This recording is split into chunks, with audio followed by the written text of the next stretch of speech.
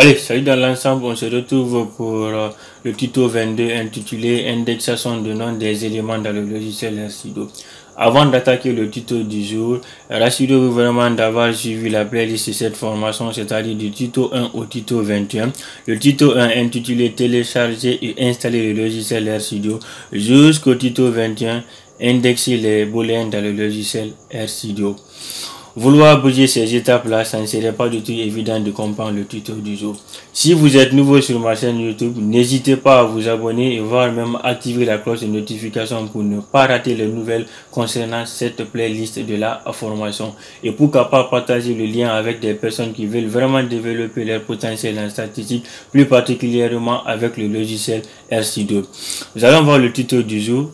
Indexation de nom des éléments dans le logiciel RC2. Avant de pouvoir faire l'appel à l'option là, il va falloir qu'on définisse en amont le nom des éléments de nos vecteurs. Mais pour définir ceci aussi, tenez attention à la case comme on avait décrit cela lorsqu'on lorsqu'on posait les conditions pour créer une variable. La case, par exemple ici, le, le vecteur, si nous prenons dans le contexte ici, acacia avec grand A, est différent ici de Acacia avec petit a, c'est-à-dire le fait que ce soit en majuscule et en minuscule ici, il y a une grande différence. Ces deux vecteurs-là ne sont pas identiques. Donc, regardez ici, j'ai déclaré ici un vecteur de type âge, j'ai assigné ici des nombres dedans. Puis en faisant appel à la fonction ici name, j'ai introduit ici le nom de mes éléments directement en l'assignant. Puis j'ai lu le contenu de mon vecteur, voici ce que ça donne. Après, je fais appel ici à mon vecteur âge, essayer de l'indexer directement avec les éléments en utilisant le nom là ici.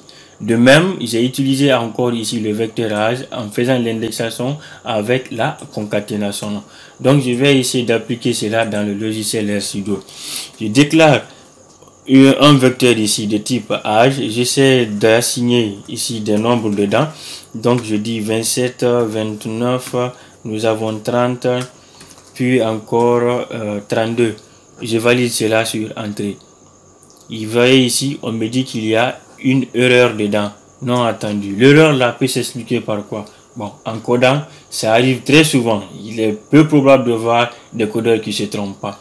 Mais regardez, j'ai assigné ici sans concaténer directement. J'ai oublié ici la fonction C. Donc ça c'est indispensable.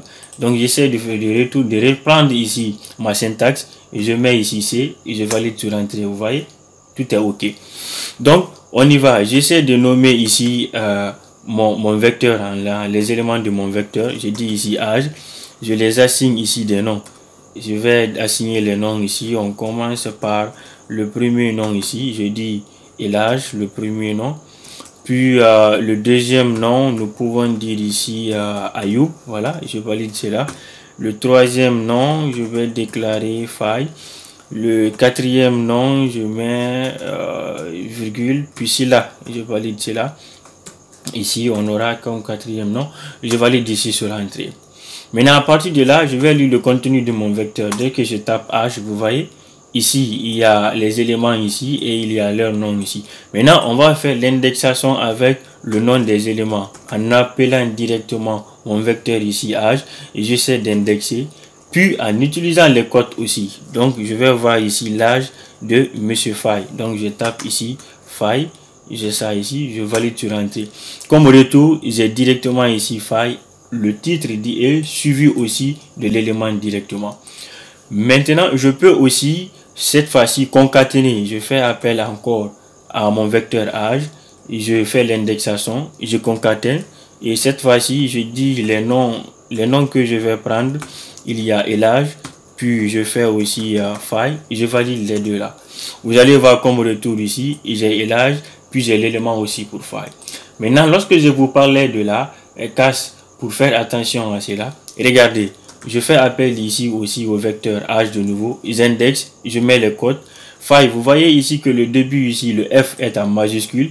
Maintenant ici, je mets cela en minuscule. Je tape ici faille. Vous allez voir que le logiciel me dira qu'il ne connaît pas l'objet là du tout. Vous l'avez vu? Dès que je tape cela, ça me dit que c'est une donnée qui n'existe pas, une donnée manquante pour moi, autant plus. Donc NA, ça veut dire c'est une donnée manquante. Parce que le, le nom de l'élément là n'existe pas dans mon vecteur. Plutôt si ça il y avait F en majuscule, là ça allait directement trouver. Donc voici ce que j'avais à vous présenter ce soir. Si ce tutoriel vous a apporté des informations très utiles, n'hésitez pas à vous abonner sur ma chaîne YouTube, voire activer la cloche de notification et pourquoi pas partager le lien avec des personnes qui veulent vraiment développer leur potentiel en statistique. Donc, sur ce, je vous quitte. On se retrouve pour la prochaine. Allez, ciao.